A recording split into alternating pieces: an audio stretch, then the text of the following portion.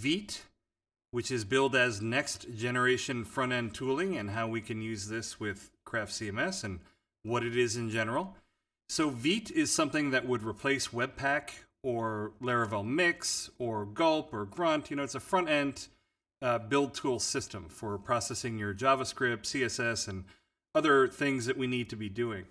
Now, you might say, why another one? Why do we need Vite? Well, the neat thing about Vite is that it's really fast and it doesn't require a whole lot of tooling. So, we're going to take a look at what it looks like.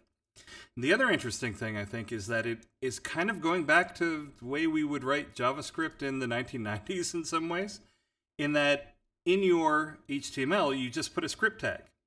And in this case, I'm using a little helper function from a plugin that I made for Craft CMS that is kind of the connecting tissue between Vite and Craft CMS. And all you do is you pass it in the path to whatever JavaScript that you are using. It can be TypeScript, it can be JSX, it can be a Vue component. It doesn't really matter. It will just take care of loading it. And this is our entire template. So all we're doing is injecting this one app.ts. And we can have a look at that real quick. So TS is TypeScript, just for anyone who doesn't know. And it's TypeScript is just JavaScript with types. And, and here's our component. So it's really simple. Uh, sorry. And so here's our JavaScript, and it's very simple. We're just importing our app and create app from Vue. This is Vue 3. And we're importing, importing this one library from Vite for dynamic import polyfills to make sure that that works with all of our browsers. And that's really it. You know, we're just creating our app instance and then we're mounting it and away we go. So let's go back to our twig real quick and let's take a look. So we're going to reload the page here and you know, we see we got our nice little confetti and stuff. And let's take a look at what is actually going on here under the hood. So in our head, we have this this line right here, this craft.vite.script ended up getting translated into this script type, type equals module and it's pointing to a dev server that is running at localhost port 3000 and it's pointing just directly to the TypeScript file because Vite is running a dev server on that port. And using esbuild, it will automatically transpile from TypeScript or from uh, Vue single file components or JSX or any of these things. So you can just link directly to them and it will just work. The other thing of note here is that there is an injected style. I'm using Tailwind CSS and the JIT in this project. And while you're in development mode, it will inject a style tag with all of your styles in here. So here's our Tailwind styles. So let's take a look at what might be nice in terms of the, the speed that we're getting out of this. So let's go to our component here real quick. And let's do something like, let's add a div class equals Background transparent, sure. Paragraph. Hello world, right? And this is a Vue single file component. As soon as I hit save, bam, the hot module replacement kicked in and it updated it. So that's pretty neat. The other thing of note here is that it's automatically getting all of our nice Tailwind styles here. So if we wanted to change this to blue, we can change this to blue.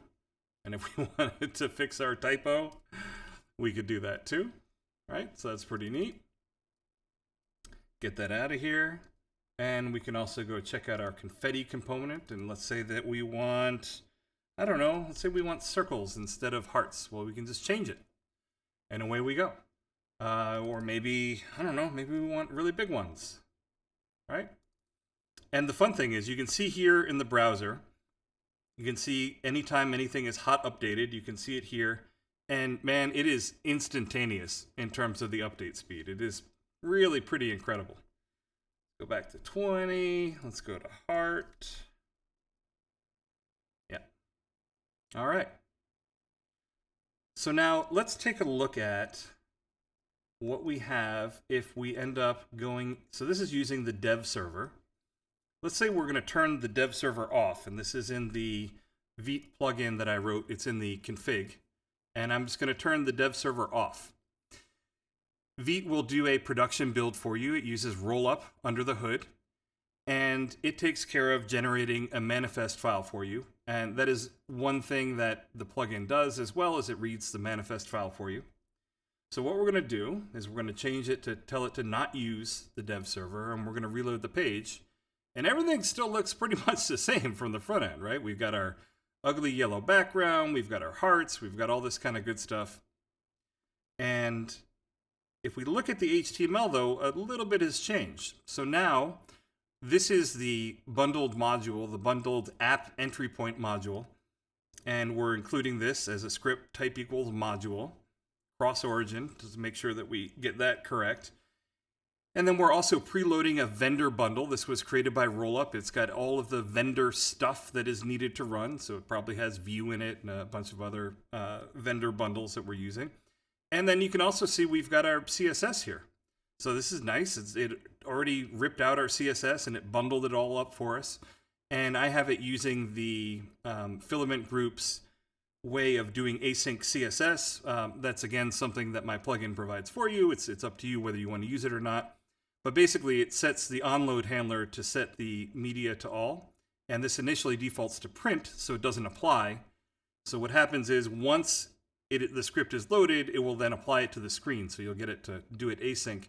And then the other thing to look at down here is we have this link rel equals module preload.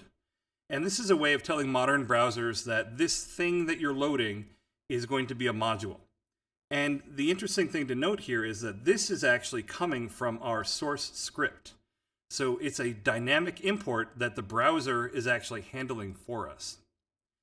So that's it. I mean, that's uh, that's Vite in a nutshell, and I think it's pretty cool. Again, the reasons you might want to use it is it's really fast and the setup is pretty easy. You do need this little connector if you're using Craft CMS or really any server rendered technology like Laravel or Rails or whatever. You're going to need a, a little adapter to make it work, but it's not a big deal.